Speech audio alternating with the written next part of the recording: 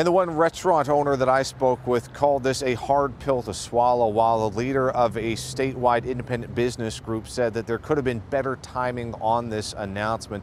Speaking with the owner of Wonderland in Shockoe, he says that they had been following the rules already in place, already, already implementing their own additional restrictions, but says others weren't. Now there's a spike, and they're all having to suffer under a new round of restrictions. He's also agreeing with what the Virginia State Director for the National Federation Independent Business told me that she understands the reasons behind Governor Northam's order, but says that the two days notice is tough, especially in the restaurant industry with how they place their orders and make their plans. First up, you're going to hear from that state director, Nicole Riley, followed by the owner of Wonderland, Chad Painter, with his message to everyone about following the restrictions this time around. It does concern us when announcements about restrictions are made this late in the day on a Friday afternoon, um, giving them little preparation time uh, to be compliant. Because that, I mean, businesses do want to play by the rules and do want to make sure that they're doing what they're supposed to be doing. It's not about the individual, it's about everybody working together.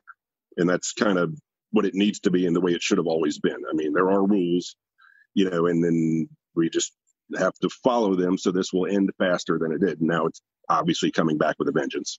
And if you would like to see a further breakdown of those restrictions, head to our website, WTVR.com.